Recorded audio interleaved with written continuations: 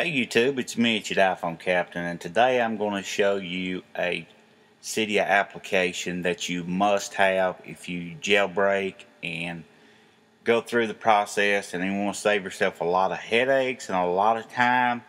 I realize it's a more expensive tweak. I think it's $9.99 now, but it's the best 10 bucks you can spend for your jailbreaking experience, and it's called Package Backup and it's in the Big Boss repo.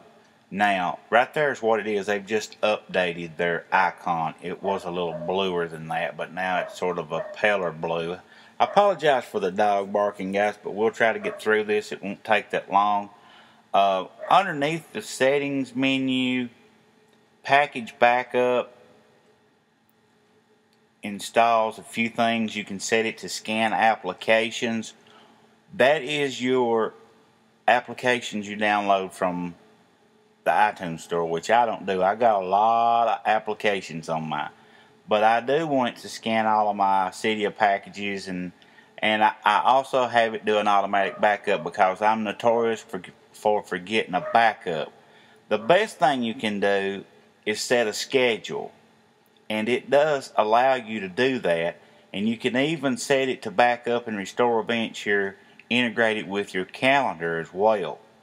And also, it's got reset all settings down here at the bottom. You can activate that, but don't mess around with that.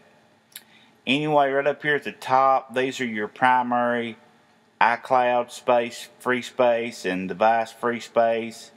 Check all that. Sound and vibrations only when plugged in, only when on a Wi Fi. Um, outside that, there's not much else you need to worry about. Let's open it up and look inside the actual application. I'm going to let you see what I'm going to do now. I actually just restored my device earlier this morning and it uh, it didn't have the one tweak on it that you saw package backup. So now what we're going to do, we're going to come in here and we're going to go to view restore down here at the bottom, the main bottom down here. We're going to tap that and then we're going to tap the little box right there to the right of that and it's going to pop up every backup that we have. Now, the backups that we can use, see I have some things on here that are from my iPad, but it won't show those under here. Anyway, See, I had an automatic backup on 8.3, but I'm going to go back to 7.28 because I think that's the last time I actually backed it up properly. And I'm going to select that. Then I'm going to go inside here and I'm going to tap all packages. Down at the bottom I tapped all packages. Okay. Now, you see right here I've got 126 App Store apps on there. I don't necessarily want to back those up here because I back those up in iTunes. That's why I don't scan them. Alright, so let's do the restore. And as you can see, it's updating our repos. And it saves your repos, your package, your Cydia packages, it saves everything, guys, and it uploads it when you back it up. It uploads it to Dropbox, or you can back it up and save it yourself on your computer, which I recommend you actually do both. This process may take a few minutes, so what I'll do is when the, when we get done here, I'll turn the camera back on and show you what's happening. So don't go away.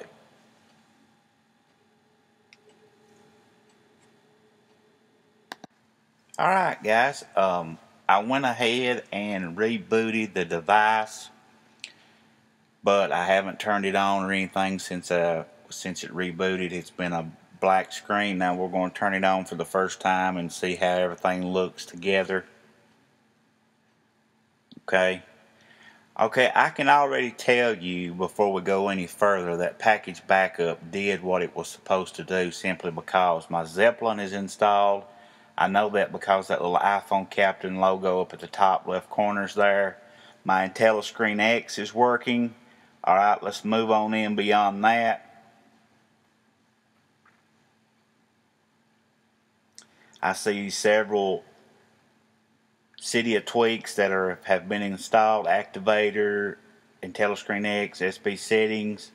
So if we go under settings to see just exactly what all was installed, Okay, now you see there's a list of several more items here.